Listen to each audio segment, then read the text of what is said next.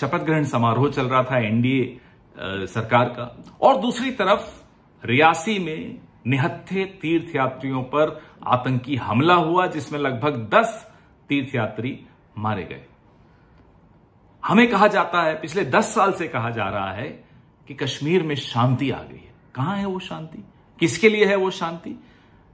जो बाहर से मजदूर वहाँ काम करने जाते हैं, उनके लिए शांति नहीं है। कश्मीरी पंडितों से पूछिए वो नहीं मानते कि शांति आ गई। स्थानीय नागरिकों से पूछिए, वो नहीं मानते कि शांति आ गई। सुरक्षा बलों के लिए शांति नहीं, पर्यटकों के लिए शांति नहीं। मेरे राज्य, राजस्थान से पिछले दस दिन पहले दो पर्यटकों पर हमला हुआ। कहाँ है शांति? सिर्फ़ शांति के बारे में भाषण दे देना और अपनी पीठ ठोकना, अपनी छाती ठोकना कि साहब, शांति ले आया मैं, उससे शांति नहीं आती। एक तरफ़ शपथ ग्रहण चल रहा था, दूसरी तरफ़ आतंकी हमला हो रहा था और तीसरी तरफ़ क्रिकेट चल रहा था। ये हो क्या रहा है?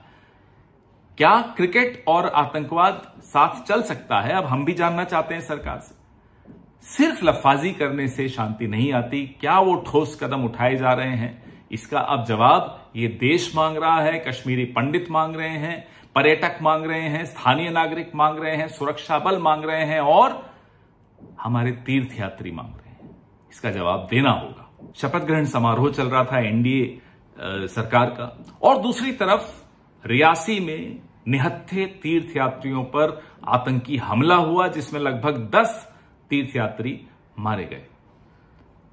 हमें कहा जाता है, पिछले 10 साल से कहा जा रहा है कि कश्मीर में शांति आ गई है। कहाँ है वो शांति? किसके लिए है वो शांति? जो बाहर से मजदूर वहाँ काम करने जाते हैं, उनके लिए शांति नहीं है।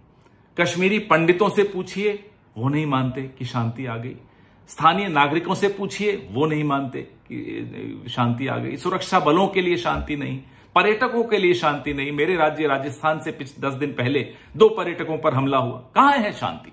सिर्फ़ शांति के बारे में भाषण दे देना और अपनी पीठ ठोकना, अपनी छाती ठोकना कि साहब, शांति ले आया मैं, उससे शांति नहीं आती। एक तरफ़ शपथ ग्रहण चल रहा था, दूसरी तरफ़ आतंकी हमला हो रहा था और तीसरी तरफ़ क्रिकेट चल रहा था। ये हो क्या रहा है? क्या क्रिकेट और आतंकवाद साथ चल सकता है? अब हम भी जानना चाहते हैं सरकार से। सिर्फ़ लफाजी करने से शांति नहीं आती। क्या वो ठोस कदम उठाए जा रहे हैं? इसका अब जवाब, ये देश मांग रहा है, कश्मीरी पंडित मांग रहे हैं, पर्यटक मांग रहे हैं, स्थानीय नागरिक मांग रहे हैं, सुरक्षा बल मांग रहे हैं और हमारे तीर्थयात्री मांग रहे हैं। इसका जवाब देना होगा। अब डॉक्टर बनने का सपना करें साकार national medical college Birgunj Nepal से National Medical College, Birganj, Nepal. Accredited by IAO and affiliated with worldwide recognized Tribhuvan University. Listed in WHO. अरे ये गाड़ी किसने लगा दी यहाँ पे अब क्या करूँ हम्म, अरे यहाँ तो ऑटो फाइल्स का स्टिकर लगा है इसके क्यूआर को स्कैन करके मैं इसके ऑनर को इन्फॉर्म करता हूँ ताकि वो अपनी गाड़ी यहाँ से हटा ले